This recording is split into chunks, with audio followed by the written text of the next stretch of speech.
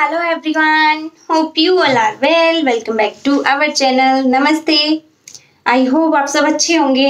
Good morning I don't know आप ये video कब देख रहे हैं बट मैं इसको मॉर्निंग में बना रही हूँ. तो व्लॉग डालने के लिए मेरे पास कुछ है नहीं तो मैं आ गई हूँ आपके कमेंट का जवाब देने के लिए क्योंकि मेरा चैनल खाली भी पड़ा है बहुत दिन से. तो आप लोगों का कमेंट था.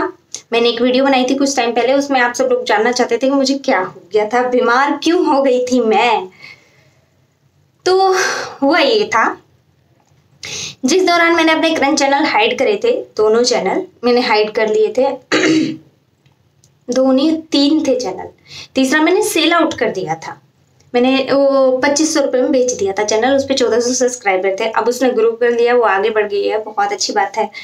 लेकिन फ़िलहाल उसका चैनल भी बंद पड़ा है, क्योंकि उसकी शिकायत है, उसके चैनल पे व्यूज़ नहीं आ रहे हैं, चीज़ें नहीं हो रही हैं।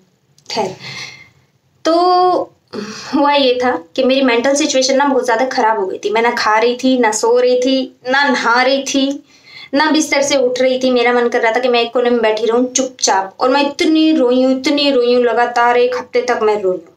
पूरा एक हफ़्ता मेरा रोने में निकला है, ऐसे ही बैठी हूँ इधर उधर मेरी मेडिसिन चली है डॉक्टर से। मेरा इलाज चला है। मेंटल सिचुएशन का।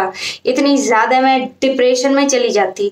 मैं इतनी ज़्यादा परेशान हो गई थी सोच सोच के सोच सोच के। चौबीस घंटा मेरे सर में दर्द रहता था, चौबीस घंटा।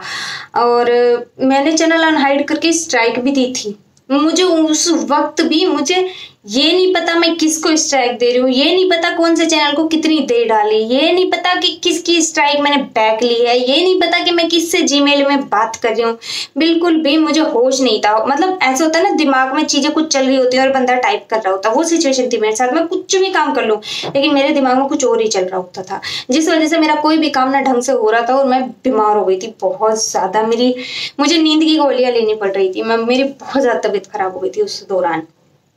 खैर, अभी तो मैं फिर भी ठीक हूँ, लेकिन डॉक्टर के हिसाब से मुझे अभी अकेला नहीं छोड़ सकते हैं ये लोग तो मुझे अकेला नहीं छोड़ते हैं, इसीलिए बुआ जी मेरे पास आती रहती हैं, इसी बात की वजह से। क्योंकि रोबिन, अगर चार पाँच घंटे के लिए कहीं बाहर जाते हैं तो मेरे पास बुआ जी को छोड़ के जाते हैं, वो अकेला नहीं छोड़ते हैं मुझे। क्योंकि अगर मैं अकेली रहती हूँ, मेरा मन करता है मैं कोने में बैठ के रो ही जाऊँ। होता है, पता नहीं क्यों, अभी भी होता है, अभी मैं पूरी तरीके से ठीक नहीं हूँ, चीज़ों को भूलती हूँ, काम को भूल जाती हूँ बड़े बड़े काम को भूल जाती हूँ। पूरी पूरी रात नहीं सोती हूँ। आज सुबह में पाँच बजे सोई हूँ और साढ़े सात बजे उठ गई हूँ और मुझे कोई नींद नहीं आ रही। अभी भी मुझे कोई नींद नहीं आ रही। मैं बिल्कुल फ्री हूँ, लेकिन मुझे कोई नींद नहीं आ रही है अभी भी। नींद ही गायब हो गई, भूख गायब हो गई। ना खाना खाया, ना सोई थी। बहुत बुरी सिचुएशन हो गई थी मेरी। मैं मेंटली सोच सोच के सोच सोच के बीमार हो गई थी। यूट्यूब पे आने से पहले मैं बहुत स्ट्रॉन्ग हुआ करती थी। मैं इतनी स्ट्रॉन्ग थी कि बाढ़ में जाए दुनियादारी, मुझे वही करना है जो मेरा मन करेगा।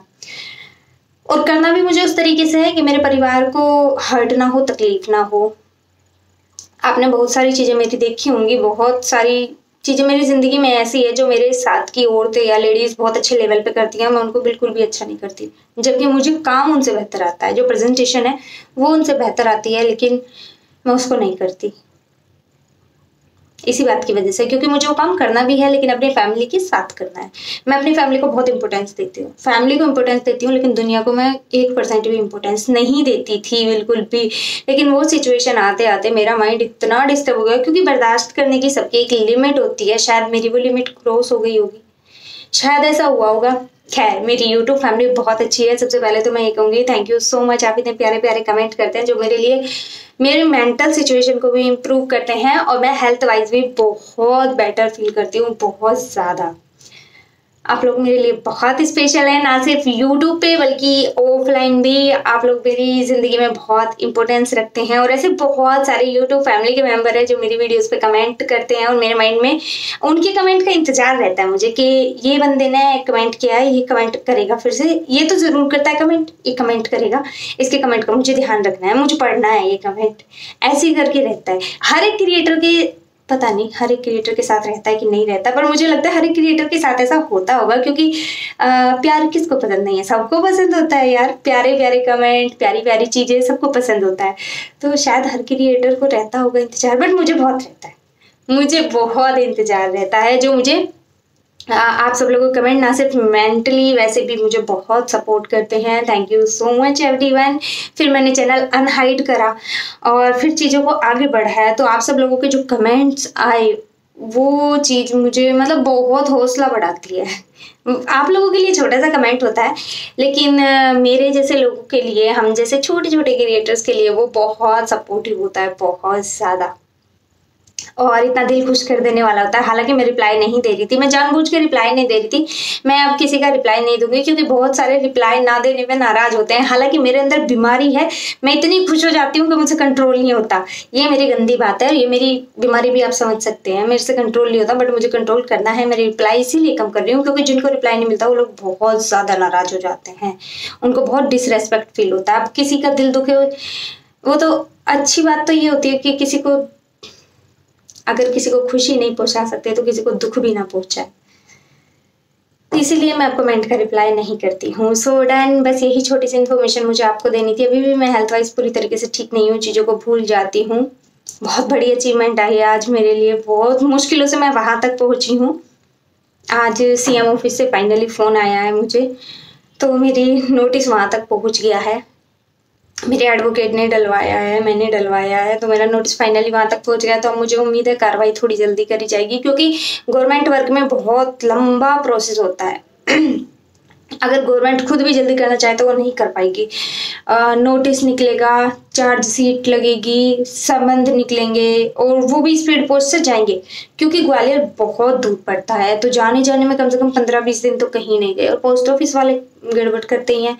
तो हर एक चीज़ में ना बहुत लंबा टाइम खींचेगा। मतलब कि नोटिस अगर निकला है तो उसमें पूरा एक महीना लग जाना है, फिर दूसरा महीना लग जाना है। बट अब मेरे पास प्रूफ है, कुछ चीज़ें हैं जिस भी पे मैं सीएम से या उस जगह पे जाके मांग कर पा रही हूँ कि मैं अभी भी सुरक्षित नहीं हूँ, मैंने इतना कुछ कर लिया है, लेकिन उसके बावजूद भी मेरे मेरे साथ ये कंटिन्यूसली हो रहा है।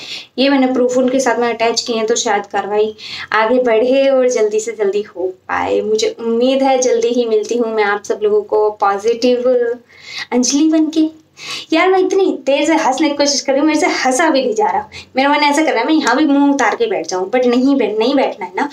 तो आ, तो जल्दी ही ये केस आगे बढ़ेगा, जैसे ही केस आगे बढ़ेगा, जो भी मुझे अपडेट मिलती रहेंगी, मैं आप सब लोगों के साथ शेयर करती रहूँगी। So bye everyone take care thank you so much बाकी जो भी आपके क्वेश्चन है, जो भी आपने मेरे से पूछे हैं, उनका भी मैं जवाब ज़रूर दूँगी और विद प्रूफ दूँगी।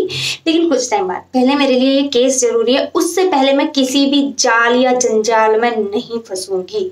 बिल्कुल भी नहीं फंसने वाली किसी भी कि कितना ही बड़ा जाल क्यों ना बन जाए। बिल्कुल नहीं फंसना है। मुझे सिर्फ़ अपने केस पे फोकस करना है, सबसे पहले।